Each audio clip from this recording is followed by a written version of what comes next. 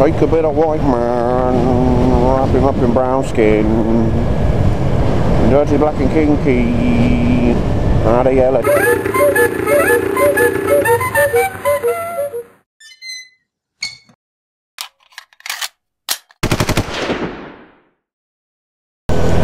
This morning, I have an additional camera. It's my GoPro Hero HD. Oh, there's a massive smell of shit, and it's not me. There's actually stables there, 'cause that's where they do the um, polo in the park. I think it's called in uh, in Bishop's Park. No, that's not Bishop's Park. Hurlingham Park. Stinks of shit. I was talking to uh, Red Shoes Moment on my Twitter. Was it on Twitter? It might have been on Smo, official Smo's Twitter I think it's called a Twitch account. Should have a look at that actually. He posts a link when he's fired it up on Twitter, and basically he kind of he just plays his his his Xbox or his PC and streams it online. And there's a bit of a chat room and stuff, and it's, it's good. I mean, I, I quite like my computer games. So, and Red Shoes Moment was on about something, and I said I had a similar example when I was going to tell it in my next vlog, but no, it's gone. I can't remember. I kind of almost remembered it. I could feel it just kind of seeping back into my brain back there, but started talking about Smo's Twitch account and I think that's just thrown it. It's pushed it out. The brain's just gone, no, appear not to need that anymore. After about 10 seconds, it just gets rid of stuff. I think I'm at maximum capacity. I need to uh, expand my storage space because my brain is just not retaining any information. Um, so yeah, I passed my test. I'm Really pleased with that. It was actually quite, um, in hindsight, quite a funny moment. I, I went out. Things went okay. There was a couple of couple of instances where I thought I could have ballsed it up. He made me pull in and stop and pull away safely. Now, my instructors told me as long as it the other people aren't around, you can pull away without indicating. He said sometimes you can indicate and it can cause traffic to stop. You just wait until there's a gap, pull out if it's safe to do so, you know, blah blah blah. So I did that on the first occasion and I thought fine. And then about five minutes later he asked me to do it again and I just did the same. I thought, well, I didn't think anything of it until I was pulling away and sort of 10 seconds later I thought shit I've obviously not done it right the first time because he wants me to um, you know wants me to do it again and demonstrate I can do it safely. So I thought that could be a failure. You know first one would have been a minor but so that was playing on my mind. What else was there? I was doing I was on a bit of road. I wasn't sure if it was 30 or 40 so uh, I looked down at one point I was doing 35 so I slowed down a bit and then kind of sped up again a bit. I was just, I thought, oh god, I should have just stuck at 30. Turns out it was 40 anyway, so I was sort of fannying around in the right ballpark. So again, he did give me a minor for for kind of not driving fast enough or whatever. Uh, and I left my indicator on at one point, but I uh, cancelled it before it affected any other road users. Um, I was kind of sure I'd done that, but thought for sure I'd get a minor for that. But again, didn't even give me a minor for that. So there were those things, um, particularly the pulling out from a park position that I was really worried about. So I got back to the test centre, my instructor was there, he was like, how did you do? And I said, to be honest, I think it's going to, you know, it could go either way.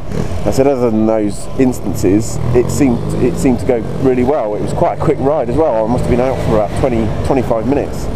Um, they say normally you do sort of 35 to 40 minutes. So yeah, I was, I was kind of, you know, not confident shall we say. He took us into a little room in the test centre and he sort of came in, looked at my instructor, shook his head, so I was like, well, that's it, game over. Uh, he sat down and he just sort of leant back in his chair and he went, James, James, James, zebra crossing, girl with a dog, white stick, you didn't see her, did you? And I was just like, no, no, I didn't. Uh, and he went, yeah, you didn't even see me stop behind you. And I was just like, no, that just would never have happened.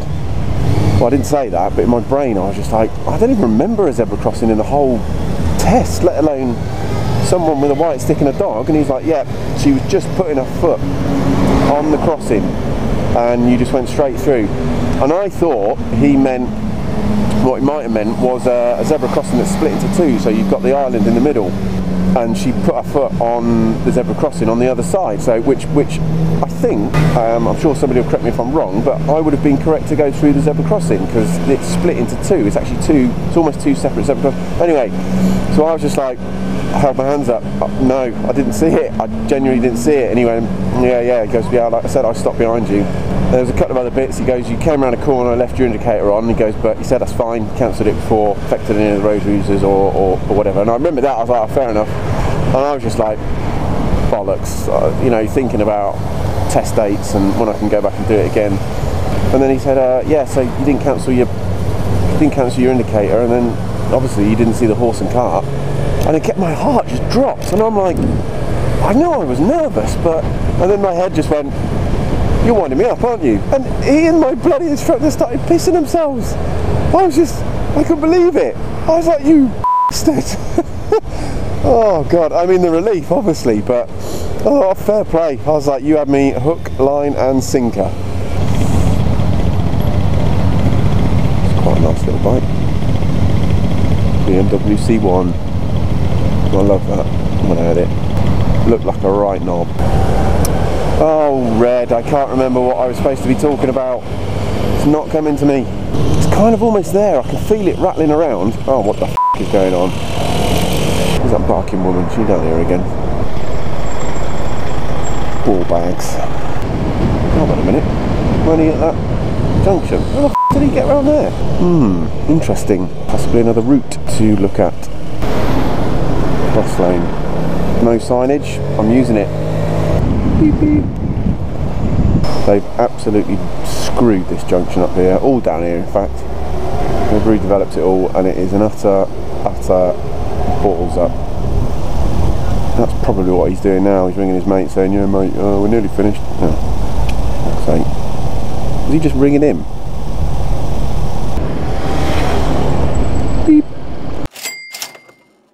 Right, seriously, is there somebody in London going around just knocking wing mirrors? Every time I get on my bike, I have to adjust my mirrors. Um, uh, yeah, you just cut into my lane, mate. Don't worry about it. Share and share alike.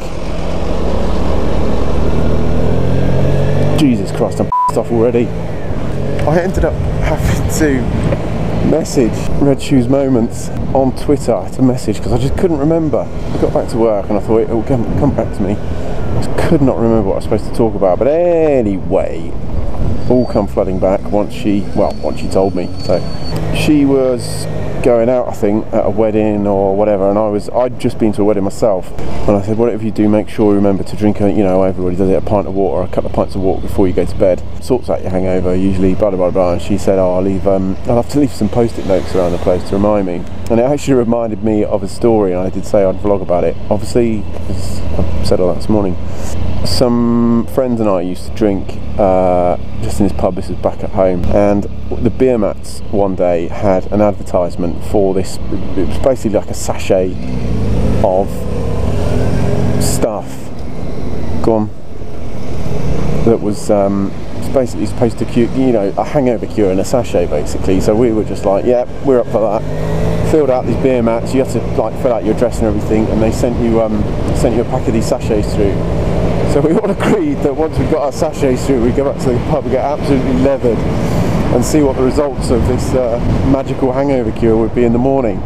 So yeah, we proceeded with the uh, said experiment and uh, the three results were as follows. I specifically remember going home, making a pint of this sachet, necking the pint, and then pretty much straight away just throwing it up all over my parents' bathroom.